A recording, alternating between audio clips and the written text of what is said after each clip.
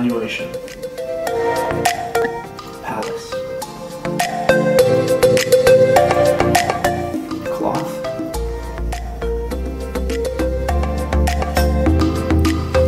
Virtue Now you can do your Wanikani reviews while you eat, cook, clean, or knit.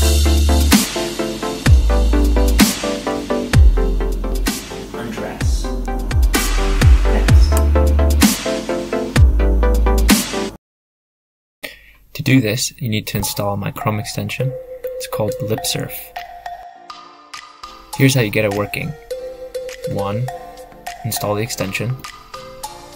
So LipSurf is not particularly for WaniKani. It's basically voice control platform for your browser.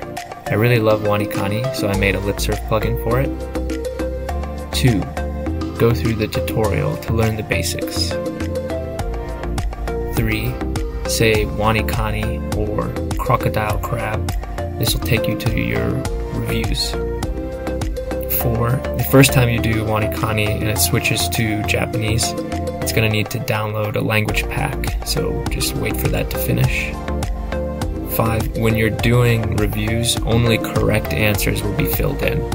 So it doesn't matter how many times you say potato, if the answer is something else, then it just doesn't fill it in. So, how do I mark an answer as wrong? You ask young apprentice. You just say wrong, unless you're supposed to be answering kana, then you would say dame.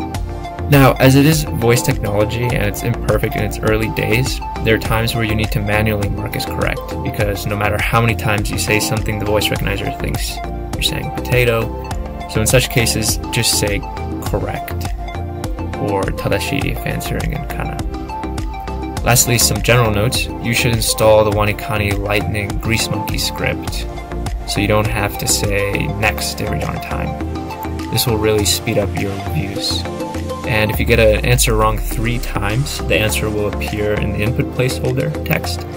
Because at that point, you should probably just say wrong or correct if the speech uh, recognizer wasn't cooperating. The answer is there to let you decide if you were right or wrong.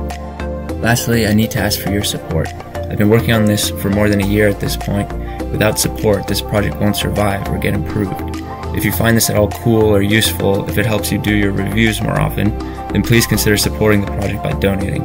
As a token of appreciation for early support, if you donate before the 1.0 release, I'll credit you double your donation amount for the pro paid version of LipSurf when 1.0 is released.